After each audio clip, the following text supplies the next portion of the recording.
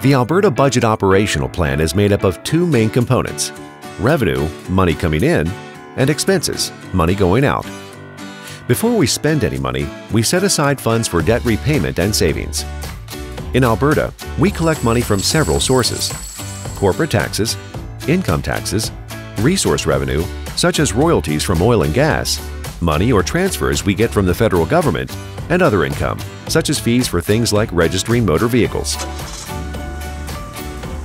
What's left over is used to fund programs and services that we all enjoy.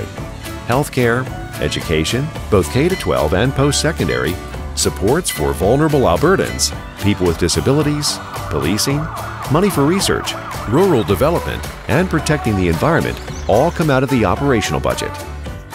Like most households, the Government of Alberta has to balance Albertans' wants and needs, money going out, with revenue, the money coming in. We must live within our means. Alberta's operational plan is always fully funded by revenues and cash on hand. We never borrow to fund programs. The Budget Operational Plan provides for the day-to-day costs to deliver government programs and services to Albertans and meet our priorities set out in the Building Alberta Plan.